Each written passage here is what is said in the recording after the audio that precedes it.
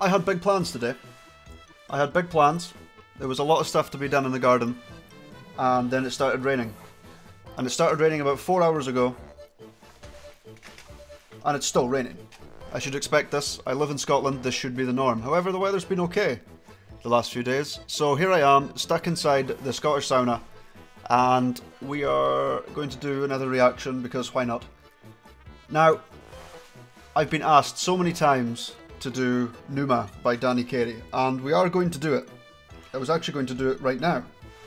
However, I woke up this morning with about 40 messages from the Nightwish army, if you want to call them that, uh, asking if I would react to more Kai videos. So, I will, today, we will do Stargazers. We'll do Stargazers live. And then we're going to leave Kai for a bit because that's three videos in six now. Or this might be the fourth in six videos that have been done on Nightwish. And I know it hoards likes and I know it hoards views, but I want to I want to find more. You know, I want to find some more weird and wonderful bands that have drum cams that we can go over because I like discovering music. Everyone likes discovering music, and we can't just have a. We may be able to do a playlist where it's just dedicated to Nightwish and we we break down the Nightwish drums and we go over a few bits. I mean, I could even I could even do a video section where we listen to bits of Kai playing, and then I could go and break it down and play it on the drums over there slower and then faster, so you can see how it's done. Which we might do in the future. Let me know what you think if we should do that. If we should have a separate playlist for Nightwish breaking down drum parts, and maybe just breaking down drum parts in general from other songs. We could just break some stuff down, go over it. I mean, I'm not sure if many people are interested in that, but it's something else we can do. The videos will take longer to come out, obviously, but hey, it's something different. So let's go, let's go straight back into Nightwish and let's look at Stargazers live.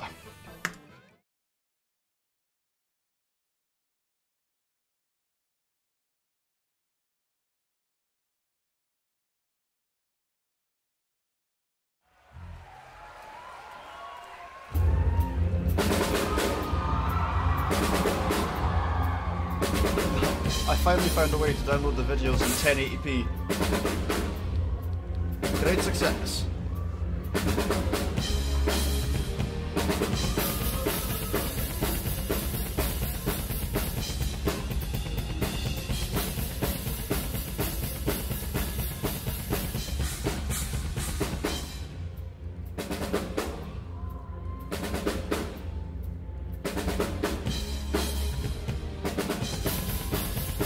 See, he does smile. And you see a lot of comments on videos of Kai. You know, a lot of the old school Nightwish fans saying that, oh, he doesn't have the energy that Jukka did, and, you know, he doesn't have the emotion and the soul. And, I mean, come on, it's just nonsense. We all know it's nonsense. Respect what you guys, what we have now, because it's something special that you won't see again. Out a pattern on the snare.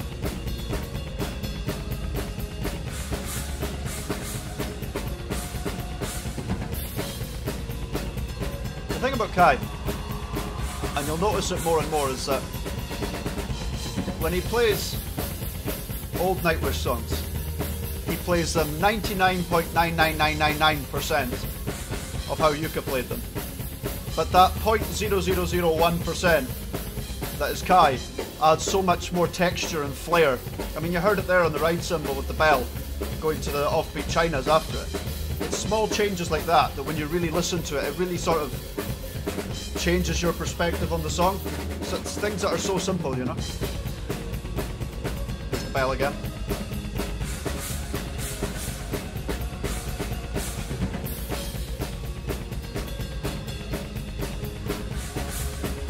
I mean, there was an interview he did with. Um, there we go. Here's this bit again. Look, if you look to the left foot, he's swiveling his left foot, and he's closing the hat while he's switching back and forth while still playing double bass. Seems to be a common theme.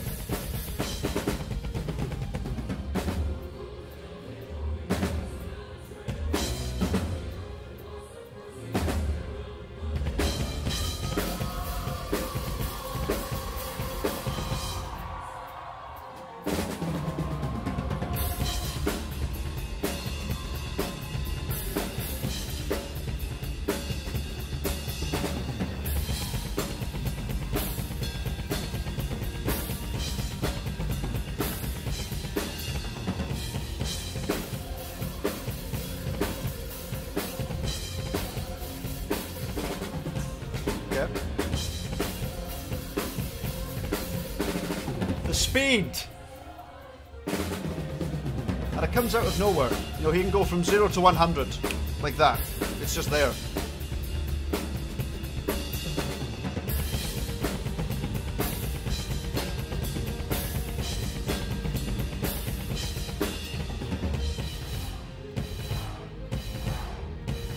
I hope he never finds out I make these videos, because the next time I go to Finland, he's going to kick my ass.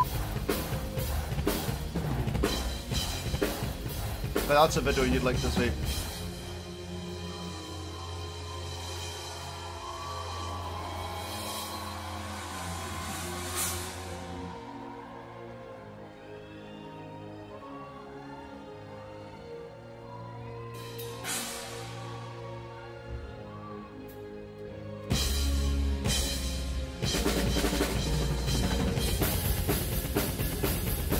What's even more worrying about his speed is that most of the time he's playing singles. If it was doubles you could understand it, but most of the time it's single strokes.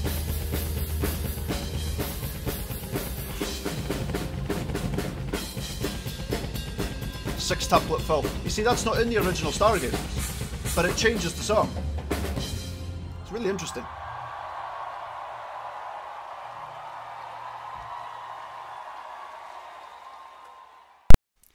So that was Stargazers live.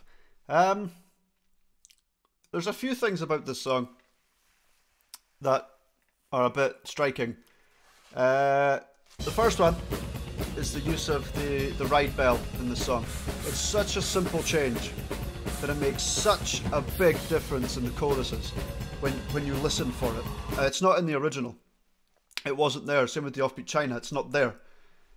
But when you hear it in this song, and you can particularly hear it on the drum cam, what a change compared to the original. And it's small flares like that. I mean, that's what Kai did with the old Nightwish tracks. He plays them almost stone replica, except he adds the Hahto flare in there, and the use of the ride bell and the use of his cymbals has always been a big part of his playing through the years. He's always used cymbals to their maximum efficiency. And, and it's shown here in such a simple song. It's not simple, but I say simple compared to what some of the stuff he has played. Um, another part about the song is the sextuplet fill, sextuplet fill, sorry, here as well.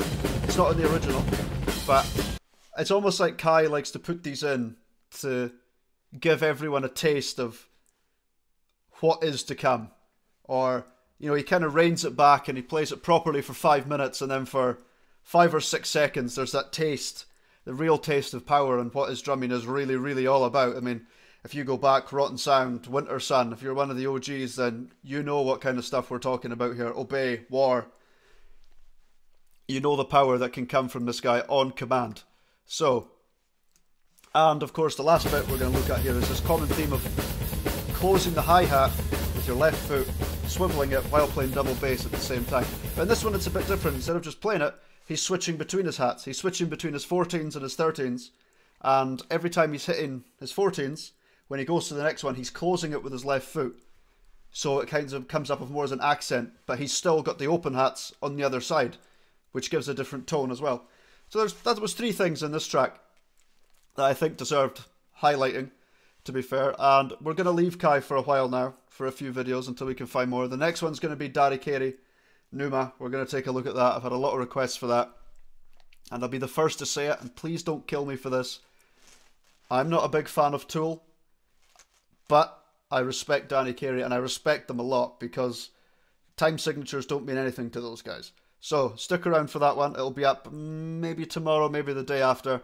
As always, leave a comment or a troll comment or a hateful comment or a nice comment in the comments below. I always try to reply and I always try to like them and, and reply to people because it's always nice to be acknowledged in those things. So leave a comment with the next recommendation, except obviously tomorrow because it's Danny Carey, and I'll make a list and we'll see if we can get through them all in the coming weeks. See you in a while.